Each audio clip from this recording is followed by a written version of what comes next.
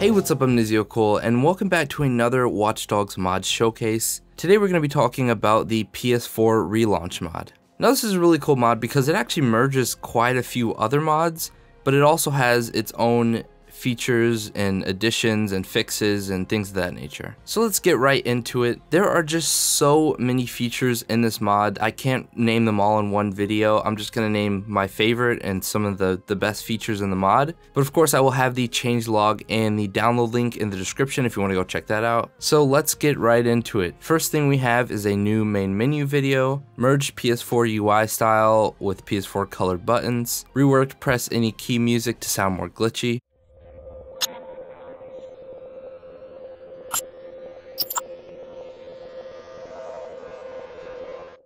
2013 dot connection exterior lights, 2013 T-Bone phone call avatar, modified audio log icons, coat white shirt gets darker when raining, E3 2012 theater interior, E3 2012 umbrellas, E3 2012 Aiden animations, PS4 crime chase music put in for police chase music,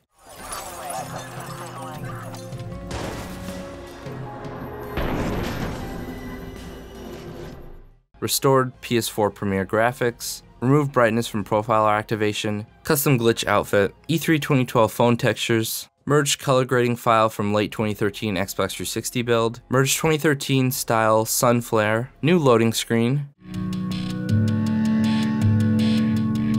bigger raindrops, Nexus intro, Watch Dogs 2 style cursor, phone panel behind vehicles like in E3 2012, change profiler reticle, Aiden icon replacement mod for profiler, and those are just some of the additions that I picked out from the massive, massive list. As well as those, we have mods like Living City and Revival that are also merged into this mod. And I've been playing with this for about a week. It's a really, really great mod. Like, I seriously cannot recommend this mod enough. So I made a short video to kind of showcase this mod. As always, all links will be in the description if you want to go check it out.